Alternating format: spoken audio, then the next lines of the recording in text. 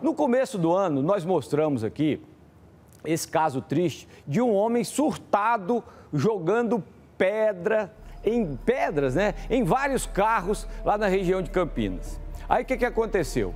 Ele foi baleado por policiais militares. Pouco mais de dois meses, o mesmo homem foi flagrado novamente fazendo a mesma coisa. E aí, Larissa Dourado, o que, que, que foi feito? Chamaram de novo a, a, a polícia militar? Como é que está esse homem? Foi preso novamente?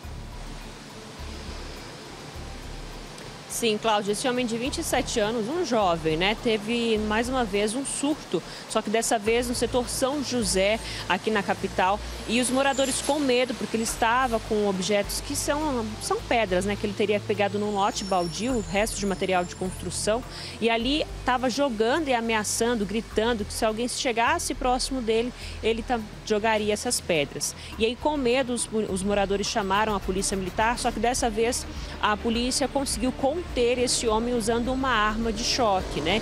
Então, mas enquanto ele não foi contido, até os policiais corriam risco, Cláudio, porque tem um vídeo, uma imagem que a gente conseguiu que mostra um exato momento em que eles estão ali tentando cercá-lo, contê-lo, né, para evitar que algo pior aconteça, e ele joga uma dessas pedras em direção a um dos policiais militares que por pouco não levou uma pedrada na região do rosto. A gente vê também na sequência a hora que ele é imobilizado com essa arma de, de choque. Inclusive, Inclusive, vamos acompanhar um trechinho de um, de um vídeo separado pela nossa edição que mostra ali o momento que ele está bem alterado. Ele chega a xingar os policiais que estavam no local ali no setor São José.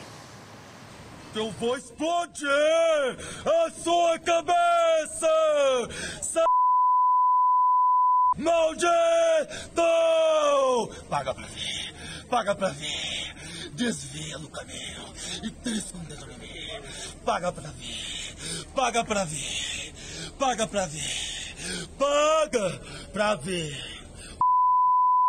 É falso cínico. E o juiz vai saber, você vai perder a falta. Você vai perder tudo.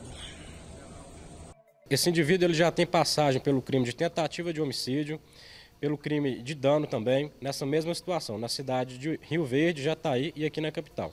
A Polícia Militar utilizou o dispositivo eletrônico de controle, que é mais conhecido como arma de choque.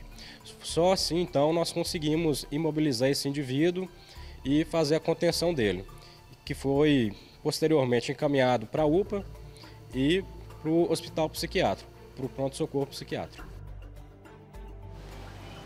Bom, então a gente acabou de acompanhar aí agora a entrevista que nós fizemos na madrugada com o Tenente Guilherme Cavalho, do, do 38º Batalhão, que foi uma das equipes, participou de uma dessas equipes, é, Cláudio, de atendimento a essa ocorrência, né, para poder ali livrar os moradores e também conter esse homem. Então, como o policial bem disse, que esse homem, depois que foi contido ali com a arma de choque, eles algemaram ele, porque ele está, continuava muito alterado, até que o corpo de bombeiro chegou até o local, levou ele até uma UPA e de lá ele já saiu com encaminhamento para o pronto-socorro psiquiátrico psiquiátrico aqui na capital. Então, mais uma vez, a gente mostrando essa, esse ataque né, que aconteceu pela segunda vez. A primeira vez foi no dia 4 de janeiro, na região ali dos setores Campinas e Aeroviário, onde esse homem foi baleado pelos policiais. Na época, inclusive, Cláudio, os policiais também precisaram ser afastados das suas funções para que fosse apurada essa conduta por eles terem dado os tiros nesse homem que jogou várias pedras na viatura ali, causando diversos danos para toda a população. Volto com você. Tá certo, Larissa, valeu, muito obrigado. É, é, é, vendo ali o, o, que o rapaz falou, meu Deus, né? Ele precisa de, de ajuda. Precisa de, de, ajuda, não pode ter o, o convívio normal com, com, com a sociedade. É, pelo que a gente.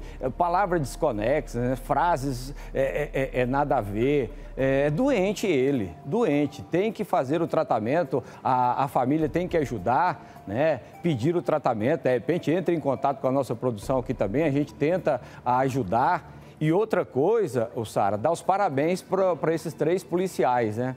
Não atirar, porque se tivesse dado algum tiro ali e esse rapaz tivesse sofrido alguma coisa, a gente tava, estaria falando da, da polícia agora. Eles tiveram calma, tiveram paciência e aí conseguiram imobilizar o rapaz. Parabéns aos três lá envolvidos aí nessa, né, nessa captura desse rapaz, né? Meu Deus.